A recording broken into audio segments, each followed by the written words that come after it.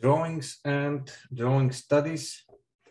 This feature is for everyone using chart patterns and such, trendline breakouts and so on.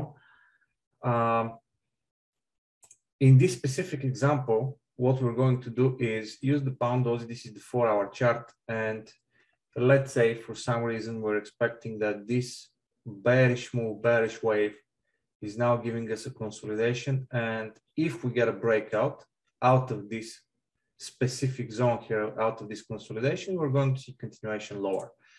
Using the drawings uh, feature is extremely powerful and super good for this specific uh, situation because what we can do is simply mark here the box and this way we indicate to the software that we're going to be using this feature. Then I'm going to be using break below, below trend line, or if you prefer to do it a bit more conservative, you can choose close below trend line. I will go with a simple breakout. So I'm going to choose this option. And now, as you can see, there is a trend line appearing on the chart. Let's zoom in a bit. So what I do is just like in any other situation, I'm going to place uh, the trend line whatever it needs to be. Now, in this case, we had a tiny breakout here, but let's assume there wasn't.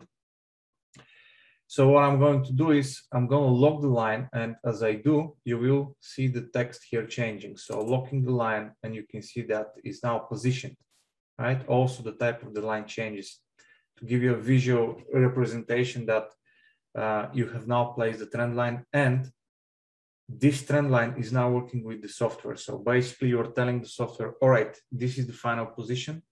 This is the, the level that I'm looking to be broken. I'm done positioning and done playing with the trend line, right?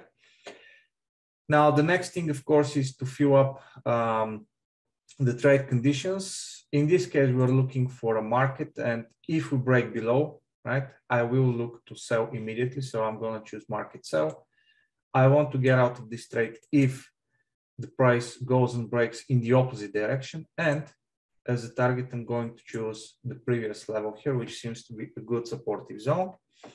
Then I'm going to choose a percent of the balance, namely 1% for this specific trade, which is giving me uh, the current statistics right there.